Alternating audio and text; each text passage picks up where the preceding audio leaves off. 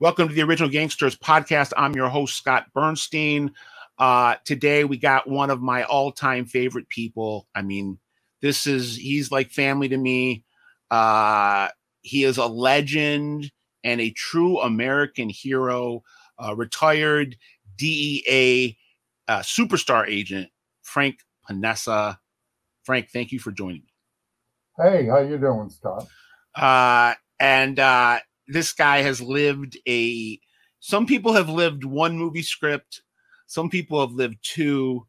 Frank has lived 20 um we've, we've had him on the show before uh just audio. I don't think we've ever had uh video uh and if people remember our, our past uh appearances to, or frank's past appearances on the show him and i have worked together for the last couple years in developing his uh, autobiography, which uh, is right now called the Chameleon, and then a uh, accompanying, hopefully, a, a, television show uh, that we've had we've had at various stages of development over the last three or four years with some pretty big people. Um, and and I know one way or the other we're gonna we're gonna get it to the finish line. Uh, but right now, I want to kind of allow Frank to tell a story about it. You know, people that are fans of us uh, of the of the show and the pod know that we love to kind of find a mix and match of history and modern day and try to find kind of connection points. Right now, there's a lot of news out of what I call the Great White North uh, up in Montreal. Uh, a lot of stuff uh, uh uh, revolving around the Rizzuto crime family uh, and um, the Hells Angels and uh, everybody has been at war with each other over the last 10, 15 years, very unstable. And Frank, and I'm going to shut up and just turn it over to Frank in, in 10 seconds. Uh, Frank in a, in a, uh, a, a, such a, a career, such an accoladed career, uh, a guy that was common, eh, so many commendations, so many major cases for people that might not know. He was the uh, Pizza Connection case. He broke the Pizza Connection open, the entire heroin pipeline coming from Sicily into the uh, East Coast uh, pizza parlors with the Bonanno crime family and uh, Cesare Bonaventre and, and Gaetano Badalamenti. That was his case. Uh, but he also did undercover work around the globe. Uh, and part of his undercover work took him to Montreal, uh, where he infiltrated the Cotroni Contreras uh, group, which were the precursors to the Rizzutos. That's my that's my preamble. Frank, take it away. Tell us the story. Yeah.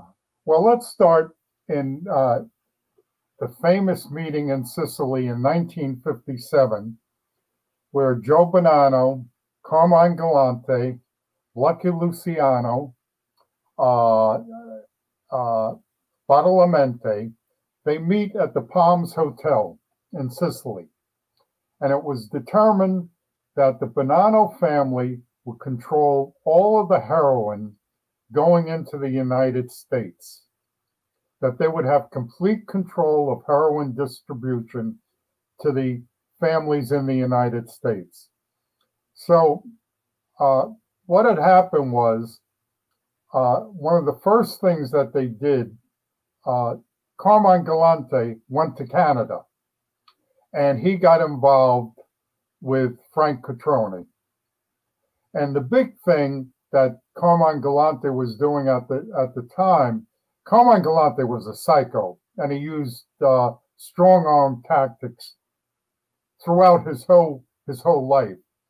So in Canada, he was in charge of all the gambling, and he was bringing in about fifty million dollars a year for the Cotronis.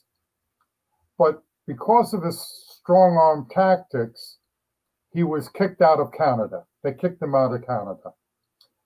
The Cotronis continued to bring in through Badalamenti and uh, other other major Sicilians, including the Dasti brothers, Frank Dasti, who was grew up with uh, Cotroni, so he was his like his capo.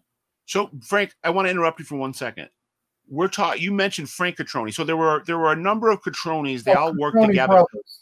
Right. There was Vic Cotroni, who was the Godfather, the Godfather. Uh, who they called him the Egg, and then his baby brother was Frank Cotroni, who you just referenced. That's who, who I'm talking who, about. Who became a very uh, a major shot caller in the Montreal uh, Mafia on behalf of his older brother, uh, and was running running point for his uh, older brother in that organization on a lot of the narcotics rackets. Yes, and and uh, when I'm referring, I'm referring to Frank Cotroni and Frank Dasti, who right. was his capo.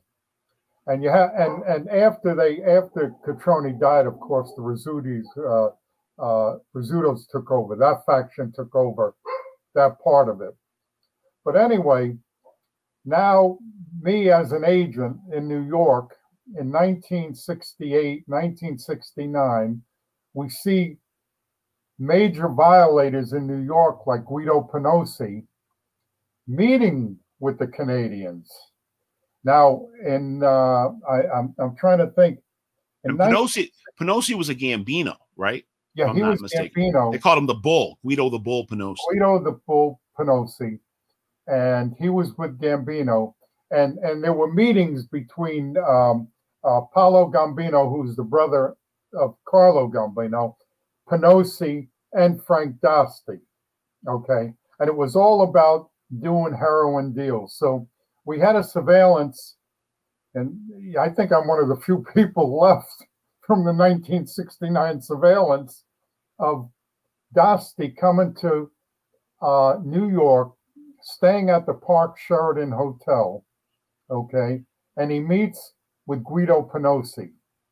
So we we we, we were already on Penosi, but apparently they must have felt the heat because again he came back in um, in May of '69, and again met with uh, uh, Paolo Gambino and Guido Penosi, and the word was they were doing a 12 kilo heroin deal. Because of the heat, the deals didn't go down, but we got word that Penosi was going to drive to Montreal. So we figured he's going to pick it up. And instead of them bringing it down, uh, he was going to go to Montreal. So he had a Lincoln and he was having it serviced at Park Lincoln Mercury. I'll never forget uh, at uh, the Manhattan Yonkers line. So we figured one of our bosses uh, says, You know, I know how he's going to get the heroin back into the United States he's going to put it in the tires of the Lincoln. And so somebody says it's going to melt if he puts it in. But anyway, the boss says, I want the serial numbers off the tires. So midnight, the, the doors must have been open at Park Lincoln Mercury because we went right in and got the serial numbers off the tires. Okay. We follow Penosi to Montreal. And of course, when he's coming back, you know, customs are going to check the serial numbers on the tires and, of course, toss the car. But it was clean, there wasn't anything in it. But the following year, Dasti sends down uh, his his guy that distributed heroin. His name was um, oh oh Lucian Lucian Madere. I think it was uh, M A D E R E, Madere.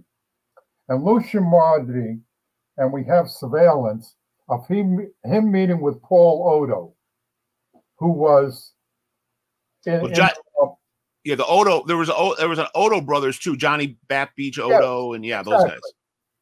He meets with them at the Sheraton Hotel. We pop them, and in Madere's car, we get 10 kilos of heroin. Okay. So it's, I feel that during that two year period, they were bringing a load of heroin into the United States and we were missing it. You know, we, we were we were lucky to to capture these three meetings and to follow uh, Guido up to, to Montreal. So they were doing major heroin. Did, did you actually did you get to go you went up to Montreal oh, yeah. personally. Can you talk yeah, about what we, the What was the landscape like up there, and, and kind of compare and contrast didn't it to? I, I didn't go into Montreal. Oh, you didn't go Oh, over the border No, no, no, no. Okay. followed him up to the line. up to the line. All right. Yeah, uh, and and he went into Canada, and then there were reports by the um, uh, the Canadian Mounted Police of of the surveillance. Yeah. but I personally didn't go into Canada. Did you did you ever? Uh, I know you said Dasti came down to New York. Yeah, we were did- on surveillance on Dusty at the Park Sheraton in in 1969, uh, two times in 69. As I say, the first time um, uh, he met uh, with um, uh, Guido Penosi. The second time in August of 69, he met with Guido Penosi and Paolo Gambino. And are you are you saying that Paolo Gambino was Carlo's brother, or was he one of the cut? Was one of the cut? No, I've his never- brother. I think it was his brother. Well, because there was also the cousins that were the Cherry Hill Oh, Gambinos. no, I knew them. That you're saying that's separate. Years Okay. Later, I knew them, but for some reason, uh, it's Paolo. I'm positive it was uh, his brother, Paolo. They must have been a brother. But then, in August of that uh, of that year, we we find Frank Dasti at. Um, oh, I'm trying to think who passed, who was killed. Oh, uh, um, oh, what was his name? It was you. Oh, you Palmieri. Jimmy Palmieri was murdered in 71, and he was part of the uh, Lucchese family, okay. Palmieri. Right. And we find Frank Dasti at his funeral in 71. So we had three, I, I had three occasions to see Dasti in New York. It was J- Jimmy Palmieri. We're talking about Johnny Palmieri. Jimmy Palmieri. Jimmy Palmieri. Yeah. And you you surveilled the um The, The the, wake? funeral. The, the wake. wake- Where where was it at? I'm pretty sure it was in Brooklyn. I can't remember. You know, going back to 1971. And he I think they called him Jimmy Higgins. I think that was No, his nickname. uh, no, he was called um, um, oh um, Jimmy called something else. I can't think of it. I know that Jimmy Jimmy Higgins was one of his aliases. Jimmy, Nonetheless, he What? was a Gambino drug lieutenant. yeah, Uh, okay. and the the notion it's also I, I want to get your take on this frank it's interesting to think about you know when carlo was the the godfather obviously everybody had the you know the lip service towards uh no drugs but everybody knew that a lot of these godfathers that were Oh, espousing yeah, all of no drugs were actually benefiting greatly from drugs the carlo gambino his own family you know Oh, the we're- Hill Gambinos. Right, we're doing this. with them. But then 10 years later, you had Paul Castellano that ostensibly wanted to kill Gotti and his guys for for for dealing Exactly. dope. So uh, did you at the time was it something that like you realized in in regards to the Italians that you were working that on one hand it was considered a, a cardinal sin but on the other hand like uh, on one hand you're hearing from uh, tell me if i'm wrong on one hand you're hearing from sources that the the powers that be are saying it's a cardinal sin to deal but then on the other hand you're seeing all those people that are being told it's a cardinal sin to deal and- and actually I'm dealing buying- and I'm buying dope from them. right right That's the thing. But um, uh, it, it, it was interesting because they all said, no, no, they're not involved. And as I say, I was involved with probably all five all families five families doing dope, you know, uh, in, in New York at the time.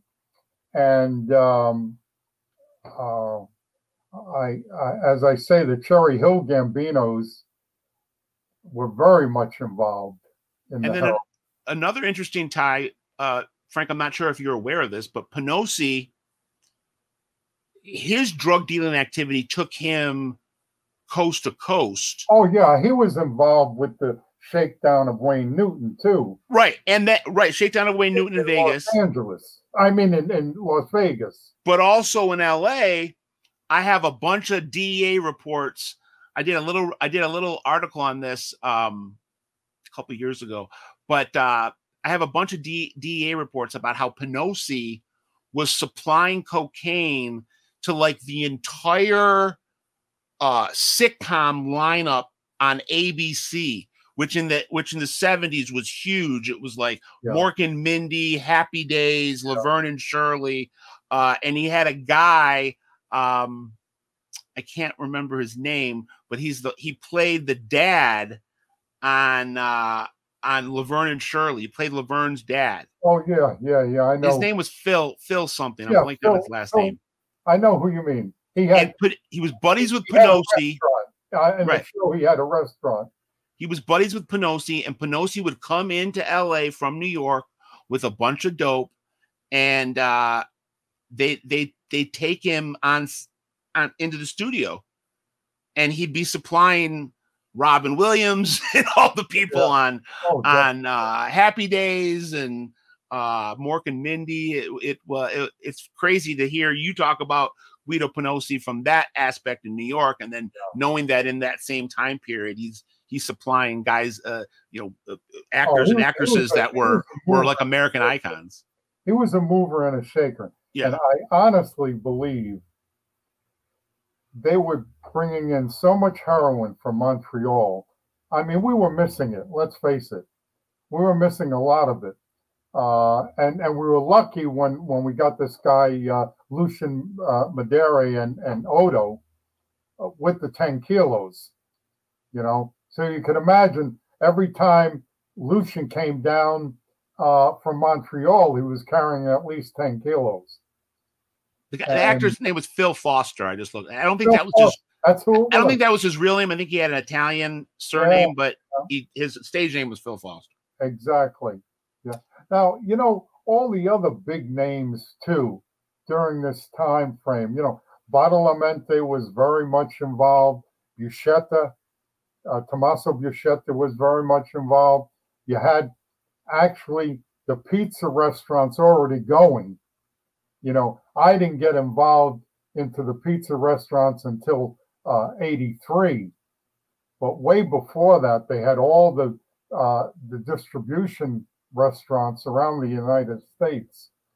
And the one interesting thing that we saw that the Sicilian mafia controlled all the heroin importation and they supplied the American mafia families with the heroin people don't understand that there's two mafias, you know, the Sicilian and the American mafia, and they use one another for their own profits. And the American mafia was also using the zips, as we call them, the people that work in these pizza shops to do hits for them too. You know? Well, they were Sicilians that had come over to America uh, to work for some of these American crime families, and then they kind of became in some cases uh, mini crime families within bigger crime families. Oh yeah, uh, very insular. And I, I want to segue this for you. Uh, we'll go for another 10, uh, 10 20 minutes. And uh, for let people know that Frank had a uh, alias, a uh, an undercover persona known as Frankie Pizza, uh, Frankie Pagano, who they called Frankie Pizza. Uh, obviously, Donnie Brasco gets a lot more uh, publicity. But just so, and we've said this before, if, for people that were listening, I don't know if people on YouTube have heard it, but there would be no Donnie Brasco if it wasn't for Frankie Pizza, Frankie Pagano. I don't say that with um, any uh, slight against Joe Pistone, but but Frank, you know, he wrote the book literally on federal uh, undercover law enforcement uh, and how to go after the the Italian mafia, and laid a lot of the planted a lot of the seeds um, in the early 70s for what became the FBI uh, Donnie Brasco uh, investigation into the Bonannos in, in, the late 70s, early 80s. And Frank was dealing literally and figuratively, uh, had got his hooks into uh, subordinates of Cesare Bonventre, who was the the main zip Uh, Bonanno Capo Yeah. had been Carmine Galante's bodyguard. Uh, Yeah, was involved got in into conspiracy uh, to murder Galante. uh, we were into Cesare Bonaventre and uh, Baldo Amato. Yeah. And um, and they were distributing the heroin through the pizza shops, and I I got involved in Philadelphia in the pizza shops, and the heroin was coming straight from Bottle uh, from uh, Cesare Bonaventure, and um, in in a year's time, I bought over a million dollars worth of heroin uh, from from the Bonanno family. You know, Cesare Bonaventure and all the people that were involved with him, and uh, of course, uh, you had Castellano in Brooklyn, and they controlled, uh, you know, all the distribution in New York. Um, I don't know if people interesting time. I don't know if people know. I learned this from actually from Frank. Um, part of, I mean, I think everybody knew that part of that pizza connection. I mean, it's not it's not breaking news or anything. Uh, everybody knew that part of that pizza connection, which was centered around the Bonannos, um, it, Manhattan, Brooklyn, uh, and obviously they were spread across New Jersey. They were involved with the the, uh, the Gambino and the Cherry Hill uh, group. But I don't know if people realize that some of Bonaventure's guys, these Sicilian um, gangsters, were in Philadelphia, not working for Nicky Scarfo or Phil Testa or Angelo Bruno, but working for the Bonannos in Philly.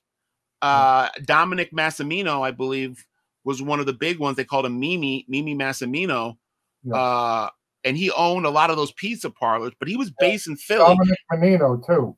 That- that's what I'm sorry. I meant I didn't mean Massimino. I meant Dominic Menino, who they called Mimi. I was confusing him with Yeah. Miles Joe uh, Mousy Massimino. No, uh, Dominic Menino, aka Mimi, who was Cesare's main guy in Philly. I didn't even know that the Bonannos had a group in Philly, but but Frank was working them, and Yeah. Frank was and tell them Frank, tell them. I, I, I apologize for people that might have heard some of the audio i- in years past, but I want Frank to tell it for the for the new video audience. Um, but tell them how your uh, entry point for for some of these uh, guys uh, in the Bonannos was pretending like you were a, a Scarfo lieutenant. Yeah.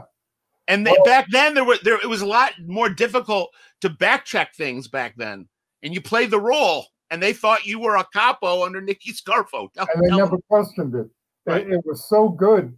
Uh, we had arrested we had arrested two wise guys in Philadelphia, two uh, Bruno people, and so we're we're saying, hey, you know, you're going to go to jail if you don't cooperate. So they said, well, we're not going to give you anybody in the Bruno family. So I said to them, well, what about the Sicilians? And so the one guy says to me, well, they're not Italian. Yeah. Yeah. they're not Ita- they're not Italian like us. They're Yeah. Sicilian. um, so we came up with the story that I was a made guy in Philadelphia and I was in charge of all hijacking because we knew they had cigarette machines. They had 80 cigarette machines in restaurants around Philadelphia. You know, when you walked into the into the vestibule, you had the machine where you pulled uh, uh, the, the lever to get the cigarettes. Well, they had 80 of them. So these guys approach one of the Bonanno people and say, "Hey, you know this guy Frankie Pagano uh, just hijacked a big shipment of cigarettes. Would you be interested in it?" And so, of course, they said, "Yeah." So at the time, they were paying seven dollars and ten cents a carton, legitimately buying the cigarettes to put in their machines. So what we came up with the idea, we would offer them the cigarettes at four dollars a carton, right off the three dollars and ten cents a carton as an investigative expense, and make me somebody. So they set up a meeting to meet with the Sicilians, and the Sicilians meet us at a mob restaurant in uh, Philadelphia. Now you have me and a, an agent that was, in quotes, my bodyguard behind me, and these two guys from Philly. and the Sicilians are sitting across the table from us. And so the wise guy from Philly says to the Sicilians, This is Frankie Pagano. He's a friend of ours, meaning that I'm a made guy. If he would have said, This is Frankie Pagano, he's a friend of mine, that means I'm associated, Right. but I'm not made. So the Sicilians saw this, and then, of course, the Sicilians saw these two guys serving me drinks. When the food came out, they made sure I was the first to get the food. So I, I started selling them cigarettes. And after about four or five months, you know, I did my sad face and I said to the Sicilian, I, he says, What's wrong with me? He used to call me cugine, a cousin. Uh, and uh, I says, Well, you know, I get involved in other stuff. He says, What do you mean? I says, You know, I'm involved in white powder. Well, why didn't you tell me? We control all the white powder. So he says, Who you buying from? So at the time, I was buying off somebody in the Genovese family in New York who we hadn't arrested. So I says, Oh, I'm getting it off so and so in in the Bronx. He says, He gets it from us. From now on, you get it from us. And that's how the Pizza Connection started. Uh, uh, you know, a short time later, I made my first buy of $85,000. Uh, and I was in. And they never questioned, uh, uh, you know, who I was. And it's funny because we used to hang out at an after hours place. And you'd have the Bruno family there, you know, with Nicky Scarfo and all them. And I'd be with the Sicilians. So the Bruno, the Sicilians never went over to the Bruno family and says, "Hey, well, we yeah, right." It could have gotten could have gotten hairy. I would have said, "Take to Frankie Pagano. Who's he?" You know. so that never happened, and there, everything they they confided in me. We went to Europe. We uh, we uh, we supplied them with uh, uh, Baldo uh, uh, Cesare Bonaventure with quinine you know, to cut the heroin. Uh, it was really good. Didn't you, didn't you didn't you tell me at one point, Frank, that before so Cesare goes down in that big pizza connection bus, but for people that know the history of the, the pizza connection and Cesare, he didn't make it to trial. He was murdered. Oh, he never did. For insubordination. Um, he had gotten uh, there was a lot of friction after the uh Galante assassination and yeah. Bonaventure became, I think at the time he was the youngest capo. No, he was, he was in New York City. He was only 25 years old. That's and all. He, and he was a capo. Uh, is, uh, a lot of power went to his head, and he started butt heads with with Phil Rastelli, who was yes, Galante's successor. Yeah, he did. But the thing was, uh, Cesare turned out to be just like Lilo Galante. He was money hungry. Right. They were making they were bringing in a million dollars a day on the heroin trade, and yet he was shortchanging everybody below him. I remember I bought a package uh, from La this. This is the story I wanted people to tell. or I wanted you to tell. That's what I was leading up to. So tell the story. Yeah. They, I, that the the original heroin that I bought was 90 90 something percent pure, which is is normal. You know, you you never get like a hundred percent, but 90% is pure heroin.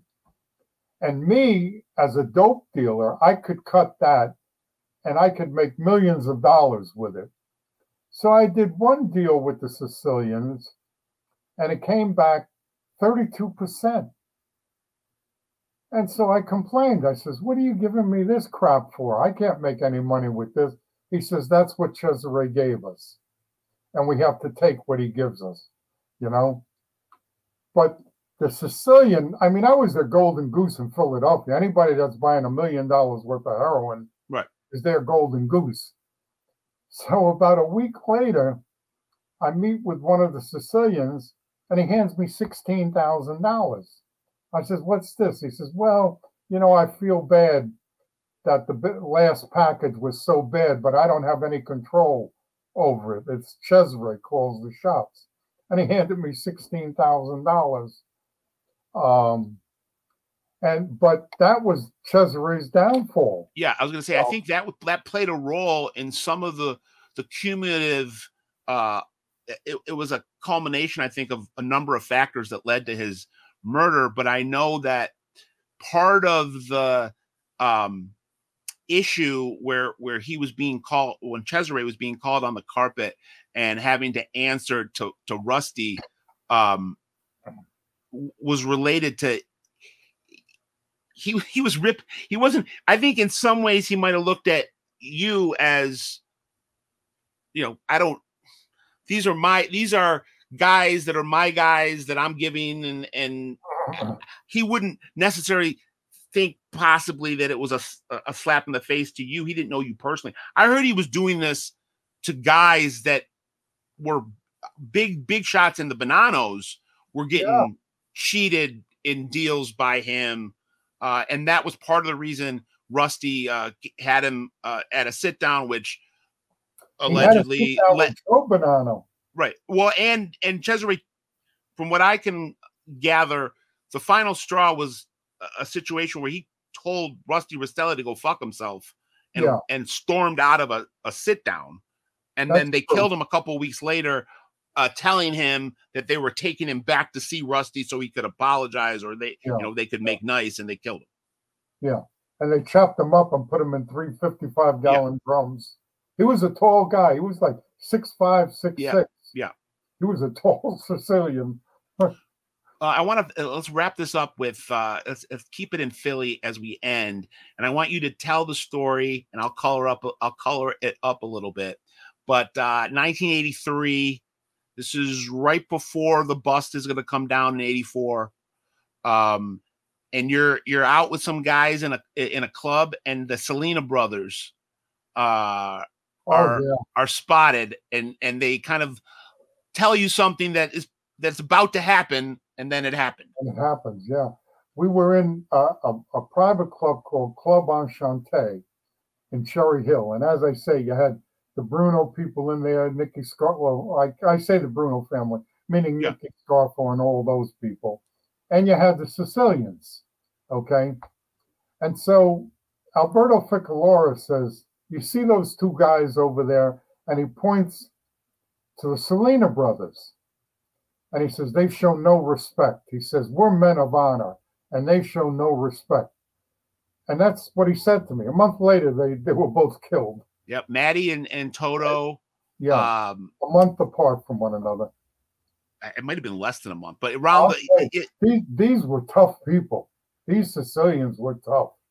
And uh, just to tie it into today,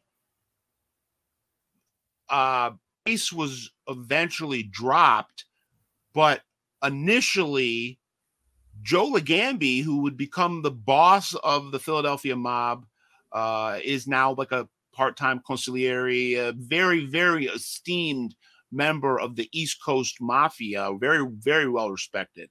Uh, yeah. He was indicted uh, for this murder, or for what I should say for one of the murders. I don't know if it was for Matt, for Maddie or for for Toto, but him and Yogi Merlino, who was uh, the alleged current boss of the of the Philly mob, Joey Merlino's uncle. Uh, yeah. Yogi and Uncle Joe Ligambi were indicted uh, for uh, for the murder conspiracy of the Sollena brothers. I believe that they were tasked with um, they they played some role in in taking the body from where it was killed to where it was found. Well, they in, yeah, they put they put them in the trunk of a car. Car, yeah. And they found them in the cars.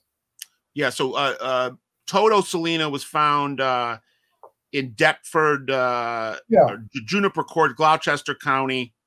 Uh, was stuffed in uh, two tra- two plastic trash bags in the, the in the trunk of his '79 Cadillac. Yes. Um, and then uh, Maddie uh, had been uh, had been murdered um, or had been disappeared uh, in, in, like a month before that, I think. Um, and they found him in a trunk. He's or or I guess he's still this as of November of '83. He was still missing. No, but then they did find him. Right. Uh, so it's just interesting to see how uh, uh, Joe Ligambi, who would eventually rise to pretty historic heights, uh, could have been tripped up by that murder. He yeah. was eventually convicted uh, later that in that decade of the Frankie Flowers murder. Got out of that in '97 yeah. on an appeal, and then uh, had his, has had his ascent. But yeah. Uh, I also was told that that might have been a, a way for for Ligambi to get made was to be involved in the Sollena hit. Oh, I, I, I believe that. You know, but then it took it took him another three years though because of uh, his connection to Chucky Merlino, and Merlino ended up getting oh. demoted. They wanted to keep Merlino's guys at a distance for a while, but it's interesting that Ligambi kind of plays a role in some of this old school stuff. You know, you have to understand during that time. I'm talking about 1982, 1983, when I was in undercover. There were 22 hits around me. Yeah, 22 people got hit you know, talking about the Testas and yep. of course originally Angelo Bruno, but but then uh, Phil Testa and everybody that came. His in. son Salvi, yeah, yep, yep. You know.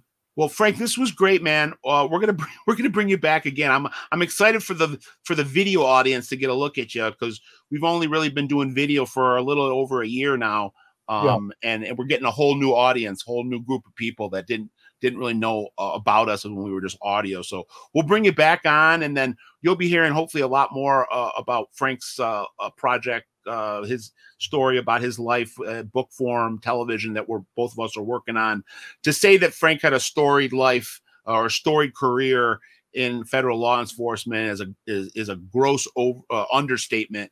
He is truly a, a, a legend in uh, DEA circles. And like I said, he, he literally wrote the book on how to do undercover work uh, at the federal level. So we, we uh, pay a debt to Frank. And uh, hey, man, thank you so much for coming on and shedding shedding insight and, and telling everybody uh, your amazing life stories. Okay, Scott. Take care.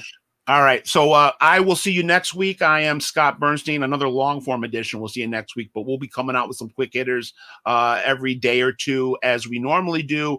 OG Pod for Benny Behind the Glass. I am Scott Burnstein.